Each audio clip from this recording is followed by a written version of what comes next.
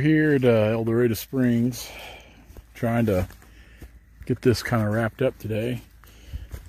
You know, I I looked at these trees a year and a half ago, and I didn't realize how bad some of them were. Like a lot of these decent sized ones, you look at them, they got wire, hog wire going all through them.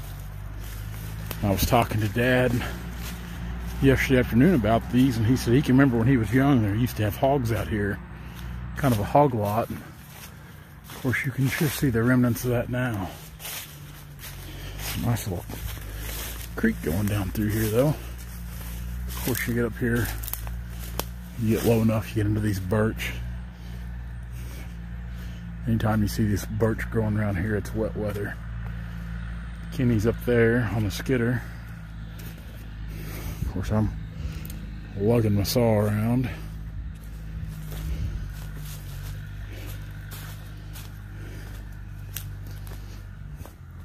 Very seldom do we ever cut any birch. We don't have a whole lot of it here in Missouri, this part of Missouri anyway. Cherry right there. Of course, our cherry's bad too. We just don't have much good timber in southwest Missouri.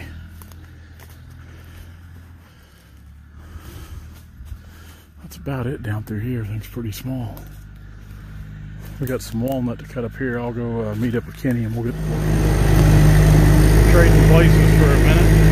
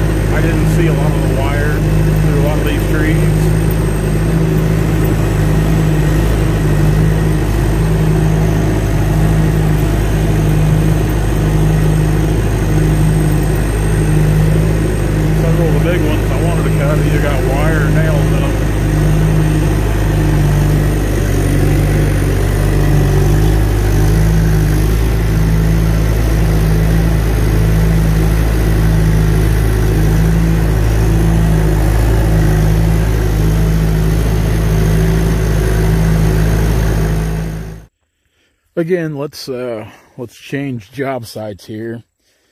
We finished up this morning where we were, but as the old saying goes, no good deed goes unpunished.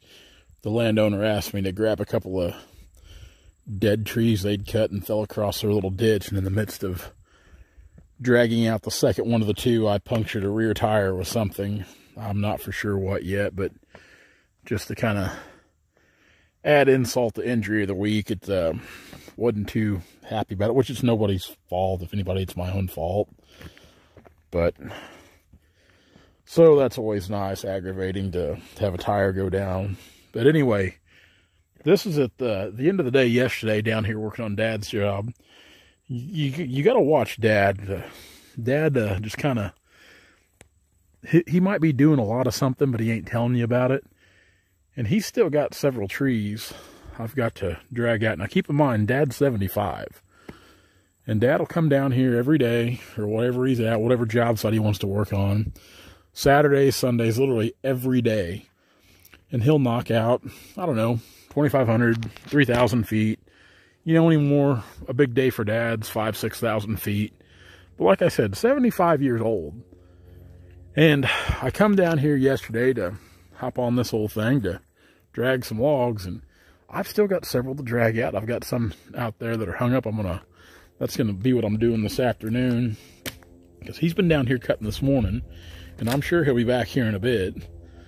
So, just uh, keep me in the woods today. Now, tomorrow, I've got to go back up around Kansas City and look at some timber and tie up some loose ends up there. But for today, nice day until the rain gets here again Friday.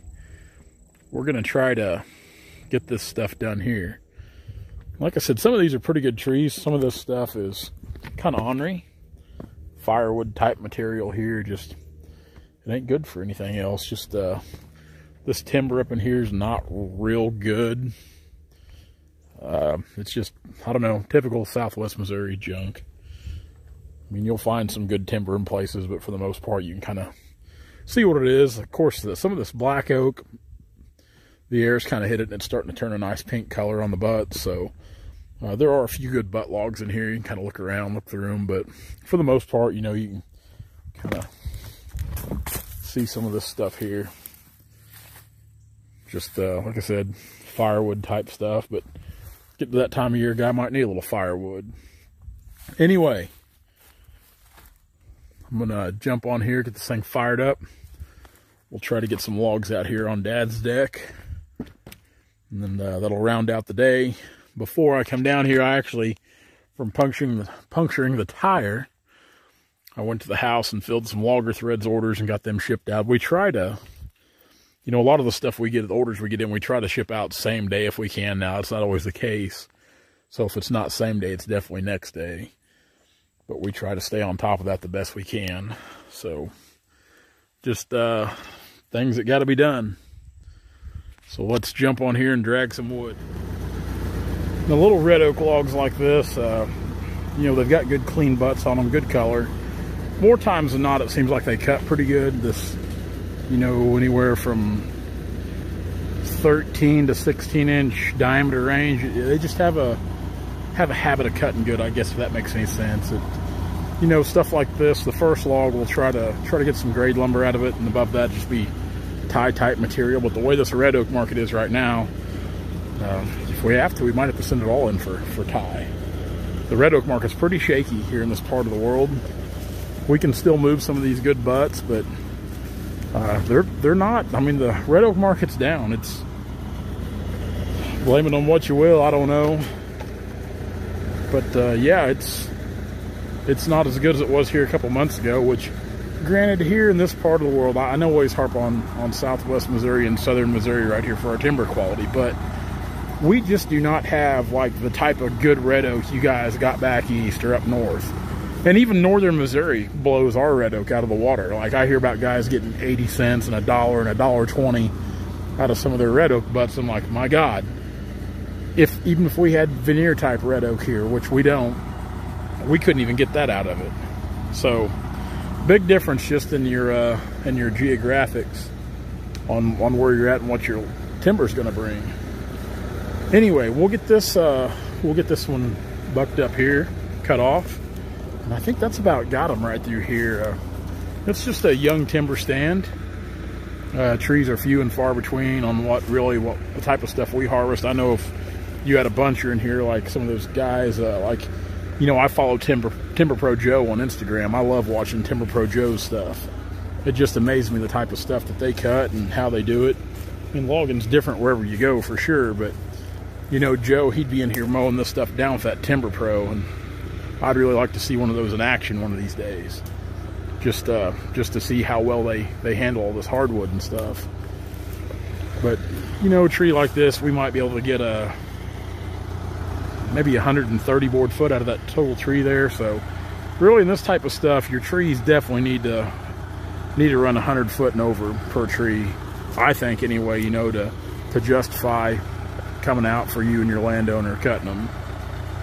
But, uh, you know, if, if, you get much under 100 foot, it's like on the oak and stuff. I mean, anymore, I don't even like to cut the walnut if it's much under 100 foot because the walnut market, they've really tightened up on the small logs, which I'm thankful they did. I I'm really glad to see they've tightened up on that small stuff because that that's going to help sure ensure that we've got a a future down the road as far as cutting walnut timber. So, diff, everybody's got a different plan of attack to it. Those are those are just some of uh, some of the things I look at, you know, when, when we're cutting timber. That way we can ensure with each tree, you know, we're getting a little volume. At the end of the day, we can have a pile of logs out there. So, hey guys, if you like what you see, be sure to like, comment, and subscribe to our channel for all of our latest videos.